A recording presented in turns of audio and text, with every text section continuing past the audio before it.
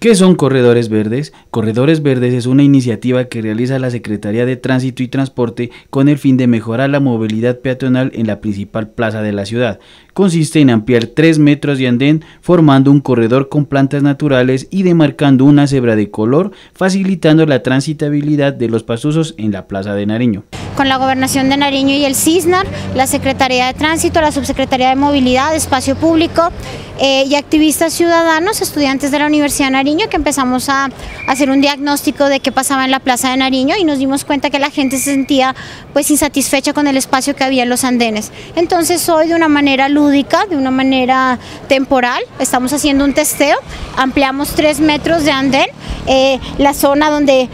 por lo general la gente se parquea, no, hoy no va a haber ningún carro ni ninguna moto parqueada, entonces lo que vamos a cambiar es eso, le vamos a dar esa vía a los carros para que transiten y este espacio para los peatones. Los carros iguales, ellos no nos respetan a nosotros como peatones, a veces en los semáforos uno va a pasar y ellos están en rojo y ellos continúan.